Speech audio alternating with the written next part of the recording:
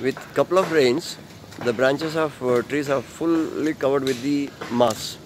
It looks as if we are in the Chikmagalur or uh, area.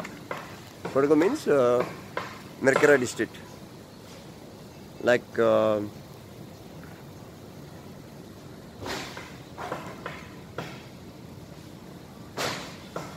it is a virtual sign of tropical rainforest ambience. If you get the rains, almost uh, frequency is uh, extending uh, 10 to 11 months of the year. Obviously, they will phones and all will establish here automatically. Madikeri is the capital of uh, sorry uh, head, uh, state headquarters of the um, uh, Mer- uh, Mercara district. Mercara is sound. Uh, I mean, originally it is a uh, Kodagu. Uh, Madikeri is the place name. People can't uh, pronounce Britishers. That's why they made into a Mercara.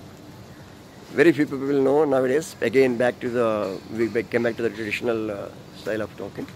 If you, somebody says Mercara district, nobody will remember. That's how it happens when people uh, try to impose on a nat- uh, local uh, thing. eh, They will die a natural death. So we should. Uh, we are happy to say that uh, Kodagu because that's uh, Madikeri.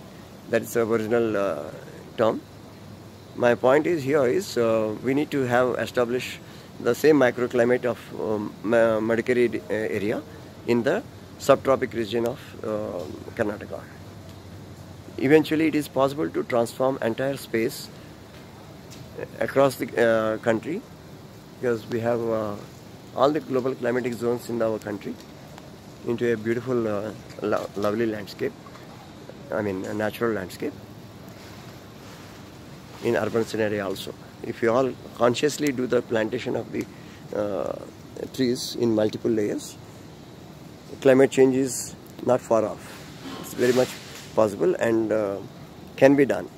Difficult, but nothing is called impossible.